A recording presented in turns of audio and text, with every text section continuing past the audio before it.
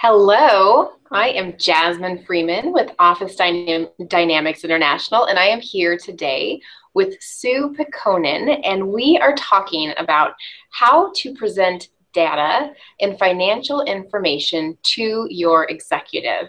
So I am the Vice President of Office Dynamics International, and I've been here working with Joan Burge for about 10 years, and um, just you might see my face here and there on our webinars. Today we are recording a session with one of our administrative friends, Sue, who was in a webinar and just got some information in the comments section, saw that assistants were struggling with this particular topic and we started talking, collaborating on the subject and here we are. This is going to be part of our April blogathon so thank you for viewing and if you're watching this on our blog please be sure to share your comments below and enter to win prizes as well as ask questions of Sue. Sue, if you would just take a moment to introduce yourself and your background to our audience, that would be wonderful.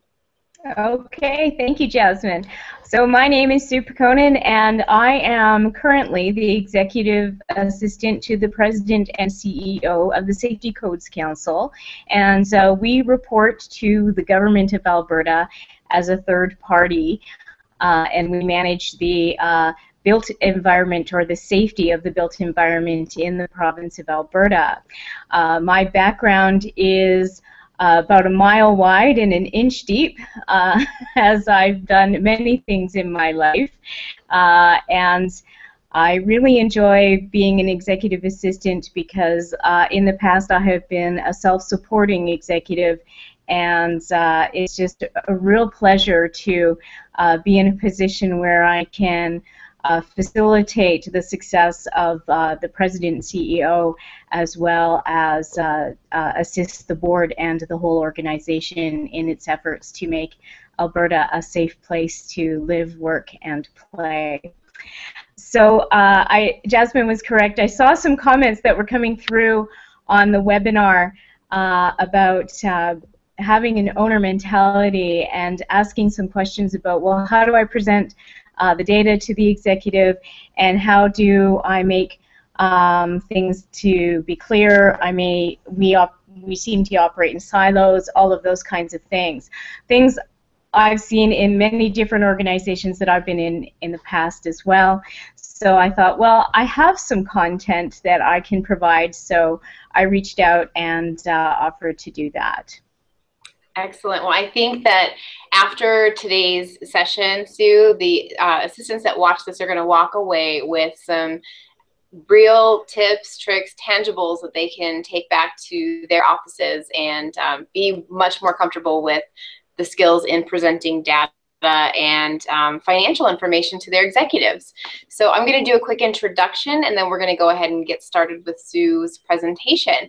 So business is becoming increasingly complex and data is becoming extremely important in order for companies to be able to stay ahead of the curve, uh, to remain current and be competitive. Executives need to make decisions that ensure the success of the entire company. Conveying data in a meaningful and clear way is not as easy as it sounds. This presentation will walk you through three ways to present data clearly and provide three tips to find ways to communicate data-based information to your executive to get the longer view that you need to make good business decisions. Some executive assistants are not comfortable with pre presenting financial data. Yet, you can learn the skill, and it will actually be more of a value added service that you can provide to your executive to enable good decision making. This presentation is going to give you three ways to present financial information and three tips for giving your executive the information they need to create success. Sue, if you'll go ahead and get started with presenting data, and I'll go ahead and fire up your slideshow. Okay, so there are many different ways to collect data. Uh, we have some that are internal ways uh, from our organizations. We have our own marketing departments. We can, uh, some people know how to use Google Analytics. all of those things. All of those kinds or that kind of information is accessible to us, as well as there's external uh, data that's available to us, and sometimes it can be overwhelming uh, looking at the internet. So sometimes the best way to find the data you need and give the information to your executive that you would like is by uh, asking some questions. And those questions are, what is the data that you need? Uh, and what is it going to be used for? Who's going to see it? And what are the things that you need to uh, understand in terms of presenting that? So once you know these things, you have the foundation to presenting the information. And sometimes you just don't want to present uh, the data as raw data. You do want to make a chart and you want to provide some analysis. You need to tell a story because stories stick. They remember things. And in this fast-paced environment where things are highly competitive, to give a really meaningful story is really important and allows um, not only your executive but everyone else uh, on within the team to understand uh, what is being said and how it's being said. So again, always uh, think about the presentation in a chart. Put the chart in one part of a PowerPoint slide or on a Word document, and then put some data analysis beside it so that, uh, or, or some analysis beside it so that the information is presented clearly in words. Uh, different people have different styles of learning, uh, different styles of, of understanding, so they need the different types of presentation in order to consolidate the information and put it within a context that they understand. So uh, that those three things are probably the most important thing in presenting data. So to remember to ask the questions about what they want and how they want it, uh, what it's going to be used for, who the audience is, all of those things are really important. And then uh, understand how it needs to be presented, for the understanding, and that's going to change from time to time. And always remember to keep it simple. Simplicity is the height of sophistication. It was an architect that uh, is accredited to that quote, and I'm sorry I forget his name. But it is uh, a really, uh, we remember simple things, so remember to keep it simple.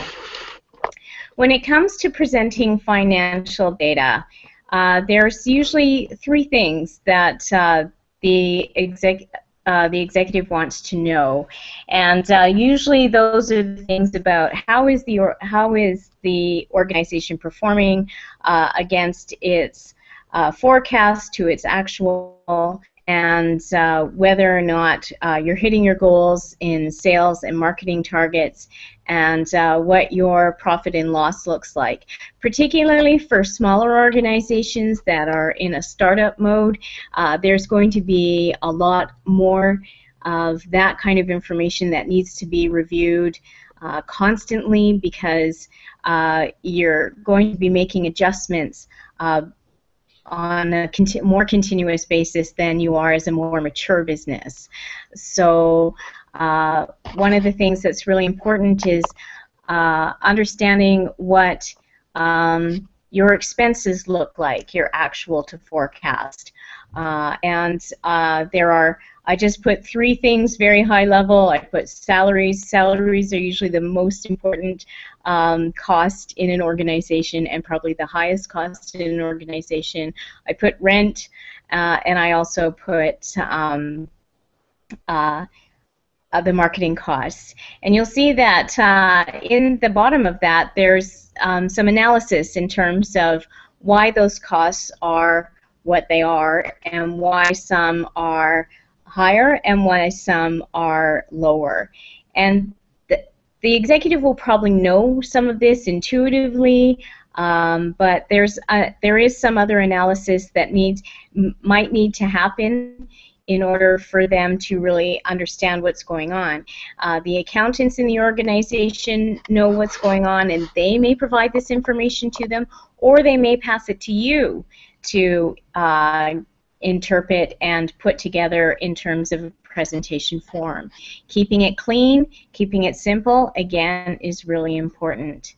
And that's the same for the um, revenue side when you're looking at some revenue models that, that need to happen. Again, I just put uh, the three products, what the pro how the products are performing in sales, and uh, what's uh, and then some analysis in terms of that for uh, product A was doing really well. Uh, product B looks like it's uh, struggling a little bit, and product C uh, is is doing fine.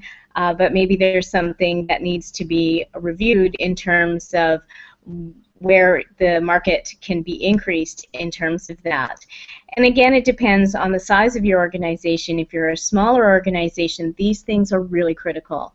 In a larger organization, it's um, going to be really uh, there's going to be a lot of people who can participate and, and probably there's already people that do this type of analysis and provide this information to your executive. You'll see it come across your desk. And again maybe for your value add what you can do is review it and um, create some more clarity for the executive and allow uh, that information to be more concise and uh, give uh, the executive really uh, clear picture of what is going on. Uh, when you're talking about uh, a profit loss um, or a profit loss statement, uh, those things look at uh, you know a bigger picture of the organization and uh, take into account a number of different things. I use the example throughout um, to keep it consistent so that it would be easier for people to understand what that looks like. And a profit and loss statement just allows uh, a quick snapshot of what's going on in the organization.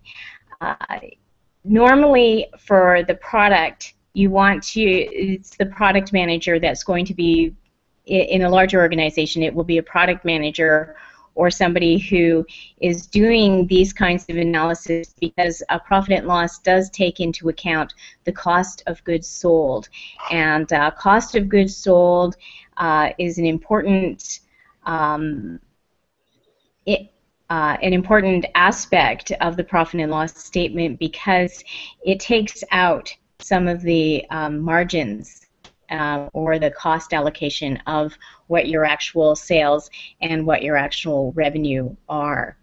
And then uh, you'll notice the statement down there of EBIT, uh, which is earnings before interest and taxes. That is a tax, or that is an accounting um, statement, and uh, it does need to be taken into account as well because uh, there are other things that impact your your entire financial picture, such as the taxes that you have to pay uh, to certain governments and uh, you, the interest that you're paying on loans and um, other types of financial uh, um, vehicles that you may be using to support your business.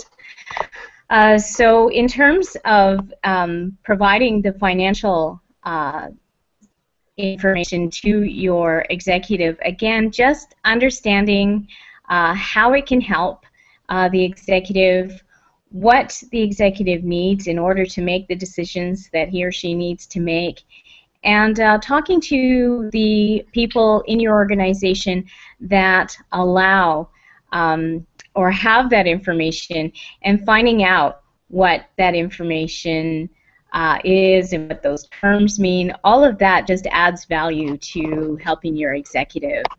Uh, and again, keep it simple and try and align it with your income statement and your um, balance sheet.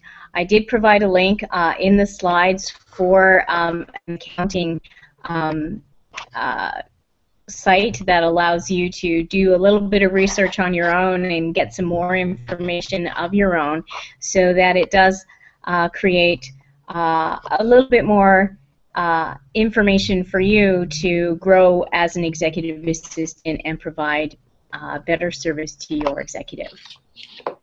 Excellent. Wonderful, Sue. Well, thank you for sharing this information. Um, it really reminded me of when I started to take over more of the conference responsibility for Office Dynamics.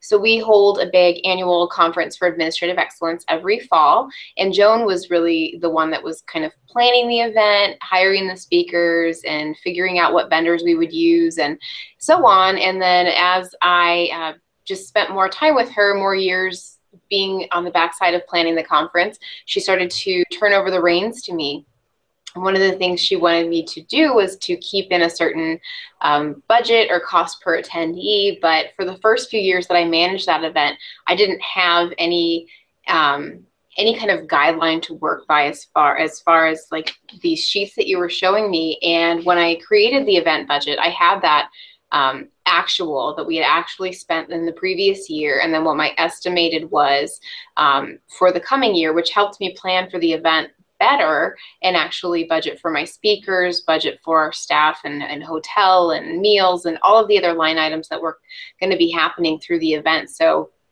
just by um, using something, a form like that, I was able to better plan for the event. And then when the event actually happened, I was able to take my forecast from, like, say, 2015's event and fill in the actuals for 2015's event. And then plan even better for the 2016 event um, using those numbers, knowing what happened um, in the previous year and where we wanted to grow, what numbers were going to be changing, and so on. So it's um, really for any type of project you manage that this um, these kinds of forms are going to be really helpful.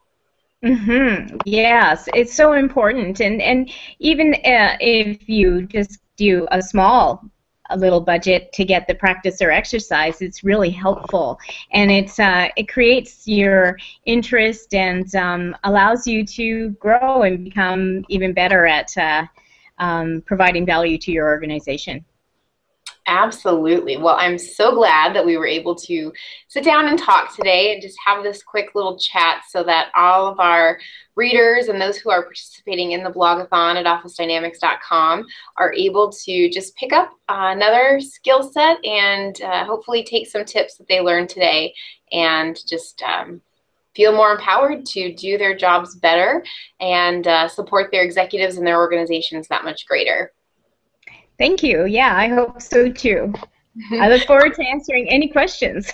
Absolutely, yes. If you if you um, have questions for Sue, go ahead and put those in the comments of the blog, which is again officedynamics.com slash blog, and uh, it will be under the same title of this presentation, which is how to present data and financial information to your executive. Thank you. Thanks.